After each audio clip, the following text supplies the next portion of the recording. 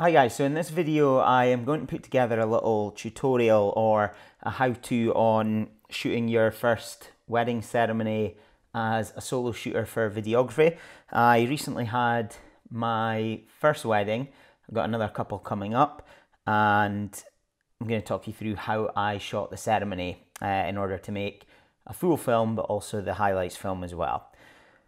So, jumping in here to the pre-planned setup, I went to visit the venue a couple of times to have a look at, look around, see what the setup would be like, the room I'd be working in, and how I could set up my cameras. Uh, over here, we've got me holding my gimbal, uh, the videographer with a gimbal, and that's camera 3, which is a zoom lens, the Sony 18 to 105 f4. Um, camera 2 would be on a tripod, and I decided to put that with the 70-200 f4 and camera 1 was going to be the 85 millimeter 1.8. Um, again, that had been decided from having visited the venue, seen what its setup was like, and deciding what the best angles would be.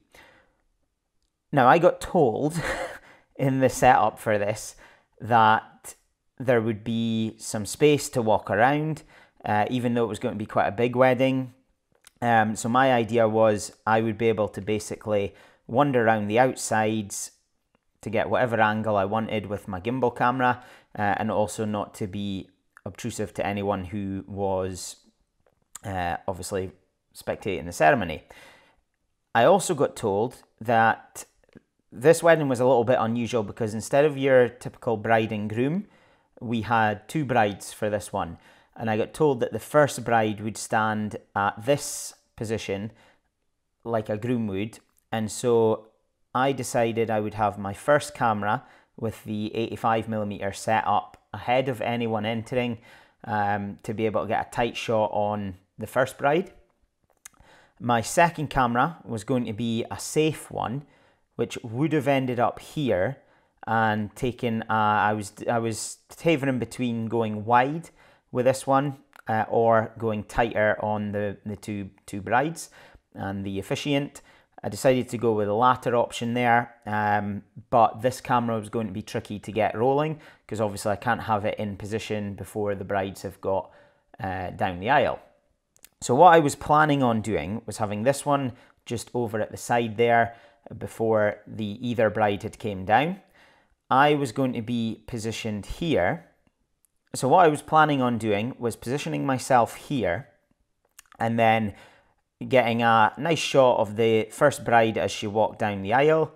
And as she went into position over here, I would peel off to this side towards camera one, get camera one rolling, focused on the bride's face, um, and then come back over into position to get the second bride coming down the aisle.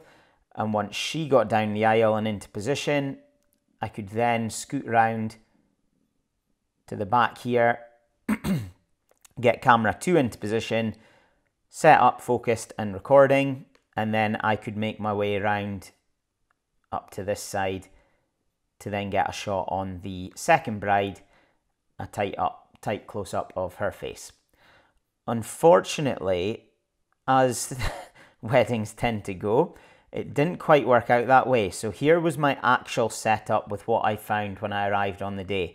It was quite a big wedding, and so they had to cram everyone in, and that meant the seating was right up against either wall, which immediately said to me, right, I can't get around the sides to get back to camera two.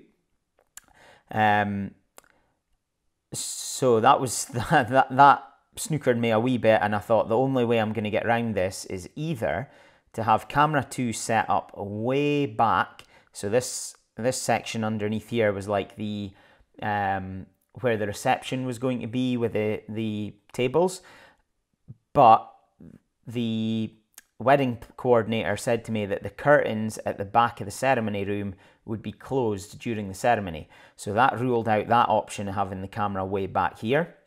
However, what he said to me was we could have it peeking through um, as long as I would be able to get back and move it out of the way before the brides walk down the aisle. So I thought, great, that's what we'll go with. Um, but the next issue was how am I going to get there to get it into position? Um, so what ended up happening was I was set up in position like so, ready for bride one to make her way down the aisle. Got a shot of her coming down the aisle.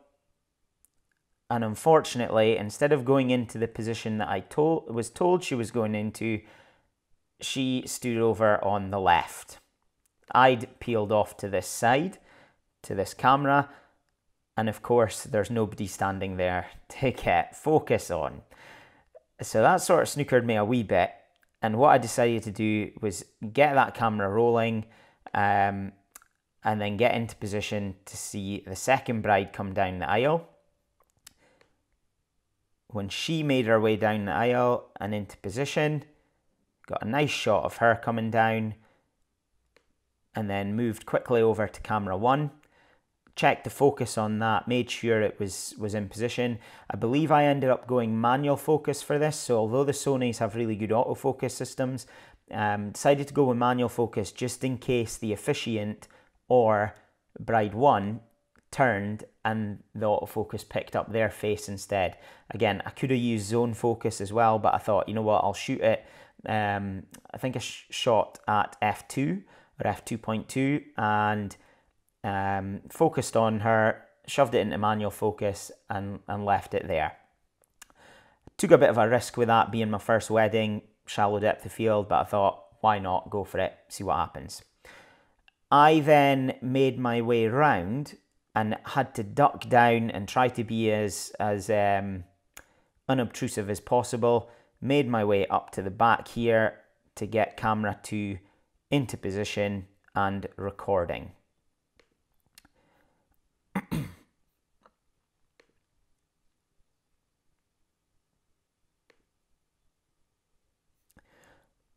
Now, once I'd got camera two focused, set up, again, and I think I shot that at uh, f8, so I was a little bit more, it might have been f5, 5, 6, um, but I was a little bit more safer with this. This was going to be my safe camera angle that I could cut to if anyone walked in the way of camera one, if camera one hadn't focused properly, if bride two moved and put the focus out, um, camera two was there as my safe bet.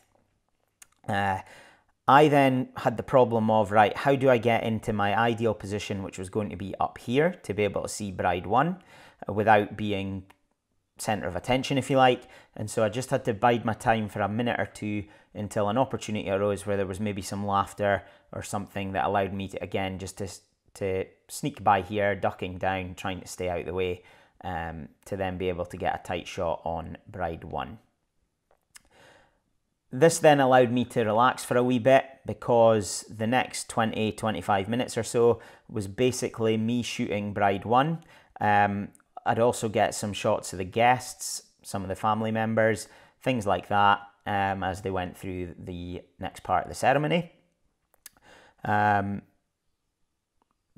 I say momentarily because the next issue I had is more with the Sony cameras. So I used the three A6000s.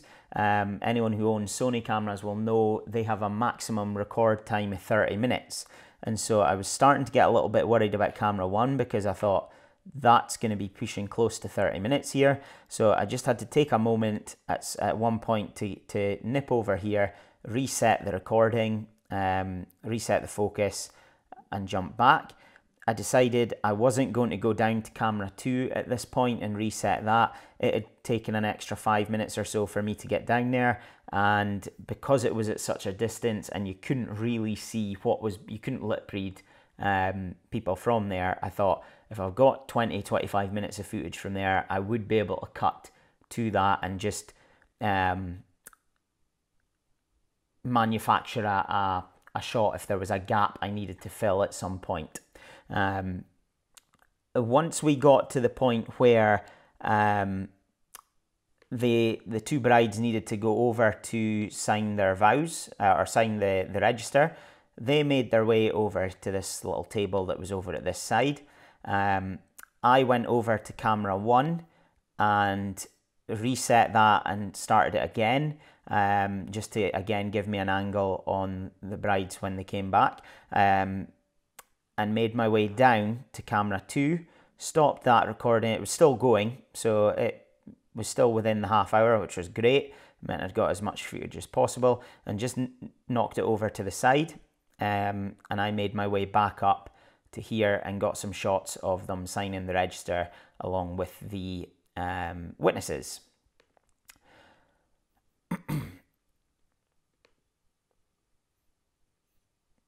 Almost there now. Once we were finished signing the register, the two brides were back into position. Again, that was me taking up my standard position over here on bride one.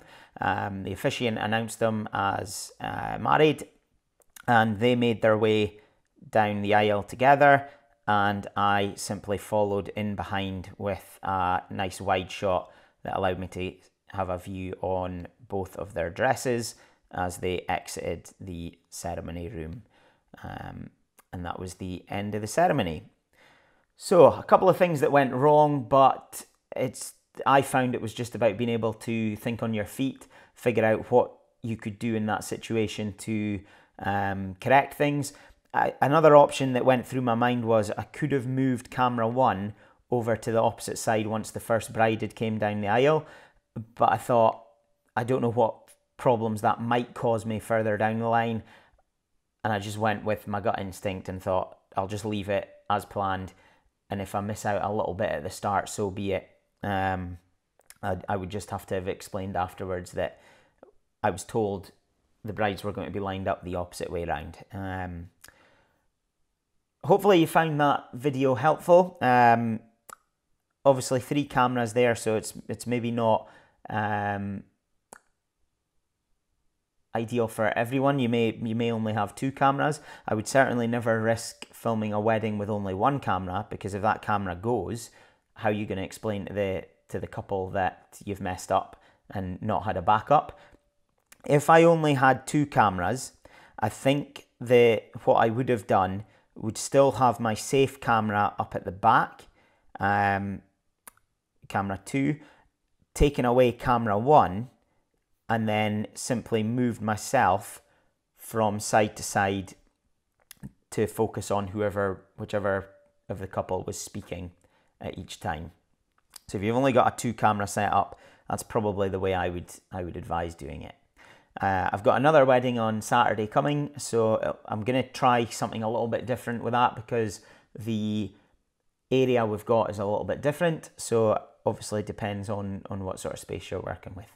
If you find this video helpful, I'd really appreciate a like. Um, and if you've got any questions, put them down in the comments box. I'd love to hear from you and see what, what you would you'd done differently maybe. Thanks for watching.